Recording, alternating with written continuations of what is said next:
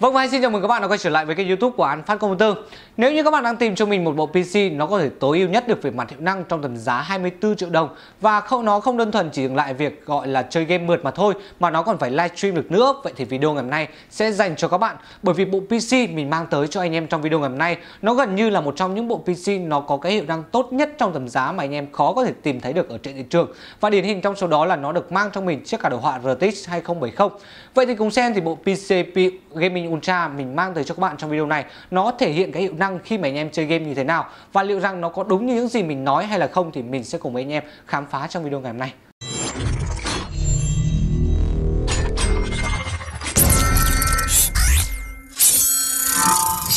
Đầu tiên CPU thì mình sẽ chọn chiếc i5 9100F kẻ kế nhiệm của i5 8400 với hiệu năng thì thậm chí nó còn nhỉnh hơn đôi chút thế nhưng mức giá của nó lại rẻ hơn. Với 6 nhân 6 luồng thì anh em hoàn toàn có thể thao hồ vừa chơi game vừa livestream một cách rất là ngon lành mà nó lại tiết kiệm được một cái khoản để anh em có thể đầu tư vào những việc khác. Còn với mainboard thì mình sẽ sử dụng chiếc mainboard B365 đến từ Adrock. Tuy nó không có màu sắc, lên lủng RGB các thứ, thế nhưng tổng thể thiết kế của chiếc mainboard này thì phải nói là nó rất là hầm hố và đẹp mắt với tông màu chủ đạo là đen xám. Còn về phần RAM thì mình vẫn sẽ chọn RAM Corsair LPX 8 với bớt là 2666 MHz nhưng mình đã nâng lên hai thanh thành 16 GB vừa để làm việc, vừa để chơi game, cũng như việc chạy dual channel nó sẽ tốt hơn rất là nhiều so với việc chạy single channel. Và cái điểm đáng chú ý nhất ở trên bộ PCB Gaming Ultra đó chính là nó được trang bị chiếc RTX 2070 đến từ Intel 3D một trong những Vega khá là mới của Nvidia trong cái thời điểm hiện tại. Và cái hiệu năng của nó cũng không cần bàn cãi nữa khi mà nó mạnh hơn con GTX 1080 là 13% và RTX 2060 là 15% Cùng với việc được trang bị cái công nghệ Ray Tracing thì những tựa game như là Battlefield 5 và một số những tựa game khác được hỗ trợ công nghệ này,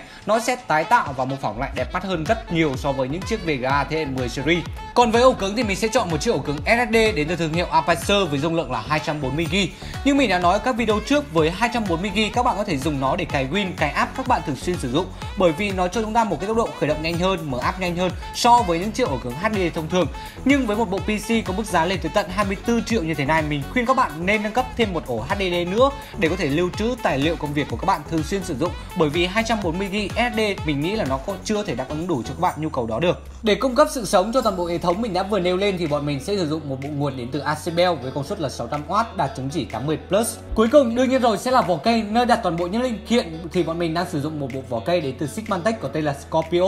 Với cái điểm đáng chú ý nhất, chúng ta sẽ có hai cái phan quạt màu đỏ ngay đằng trước và ngoài ra thì phần bên cạnh hông thì chúng ta sẽ có thêm một cái tấm mica trong suốt nữa để giúp cho anh em có thể sâu hàng ở bên trong được và đó là toàn bộ những gì ở tên bộ PCP Gaming Ultra về cái mặt linh kiện. Ngay bây giờ thì chúng ta sẽ đi vào bài test hiệu năng để xem thì với RTX 2070 và e i5 9400F nó sẽ thể hiện được cái hiệu năng như thế nào, liệu rằng nó có thể chinh phục được các anh em gamer khó tính hay là không thì chúng ta cùng bắt đầu đi vào bài test.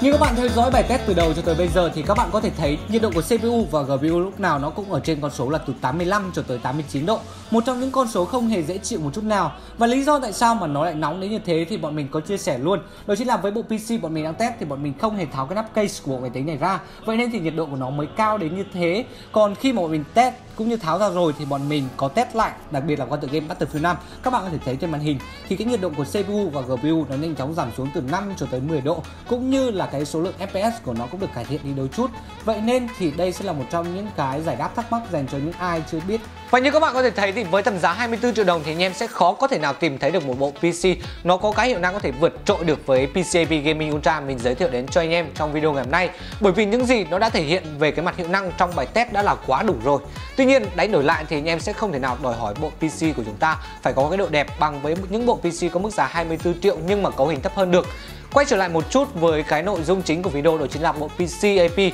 tối ưu hóa nhất được về mặt hiệu năng theo phần giá thì PCAP Gaming Ultra sẽ là một trong những sự lựa chọn mà anh em không nên bỏ qua. Và đó là toàn bộ những gì mình muốn gửi đến cho anh em trong video ngày hôm nay. Các bạn cảm thấy video này như thế nào thì đừng quên để lại ý kiến comment ngay bên dưới phần bình luận của video. Còn bây giờ xin chào và hẹn gặp lại anh em trong các video kế tiếp.